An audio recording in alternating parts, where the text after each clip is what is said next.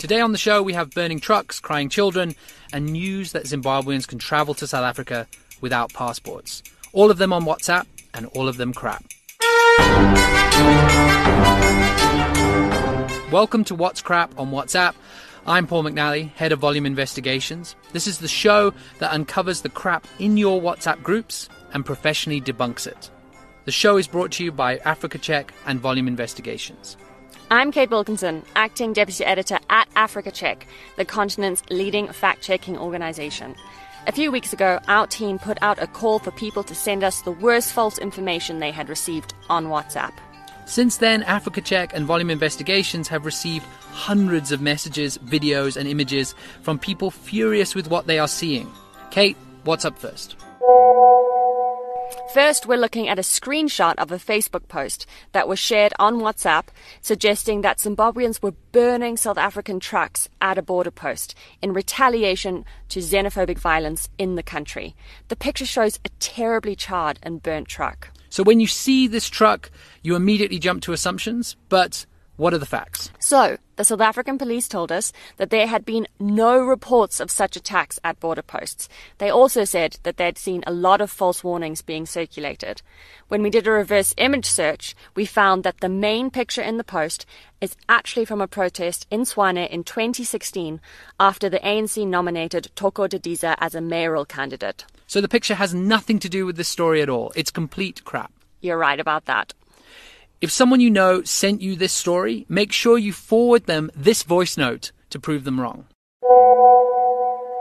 We've got two more pieces of WhatsApp crap to debunk, but first, Kate, can you tell us why Africa Check and Volume Investigations are launching this show? Africa Check has spent seven years fighting false information across Africa, but we've found it difficult to tackle WhatsApp misinformation because this communication is private.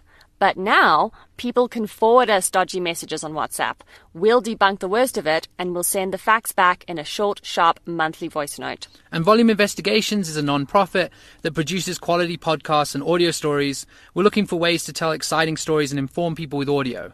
So we've partnered with Africa to fight false information on WhatsApp. So let's get back to checking WhatsApp messages. What can you tell us about a viral message that claims criminals are using crying children?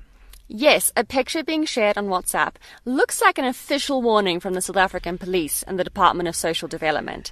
It claims that crying children are asking members of the public to take them home to a specific address, only for criminals to be waiting there to rob them. But this warning is completely false, and we were told as much by the South African police. So it's completely crap then? Absolutely. It's a hoax. And lastly, we have a story that's really pertinent around this time in elections, around passports and Zimbabweans. Yes, a screenshot of a news article that is being shared on WhatsApp claims that the South African government has suspended passport requirements for Zimbabweans. But this is 100% crap. We fact checked this by contacting the Department of Home Affairs, and it was confirmed as much by their spokesperson, David Tlhabane. the, the, the, Department of Home Affairs um, would really love to indicate strongly that there is no such a thing the department has not suspended requirements for Zimbabweans with regard to passports.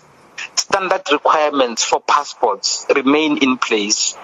Um, we do believe that the reports that you are alluding to uh, are a very malicious kind of a hoax and should be treated as such. This show is exclusively on WhatsApp. You won't hear it anywhere else. It isn't on your podcast feeds, but you can subscribe to it by putting our number 073 749 7875 073 749 7875 into your phone, sending us a message with your name, and that will get you subscribed.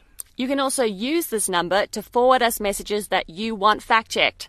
But we also want you to share this show into your WhatsApp groups, or maybe forward it to that one friend or family members who's always sending you dodgy WhatsApp messages. We've also sent you today a link to a guide on fighting fake news and false information on WhatsApp. It has five simple steps, just five, that anyone can use. So please share the show and tell your family and friends to sign up. I'm Paul McNally from Volume Investigations. And I'm Kate Wilkinson from Africa Check. Join us next time for more of What's Crap on WhatsApp. Thank you.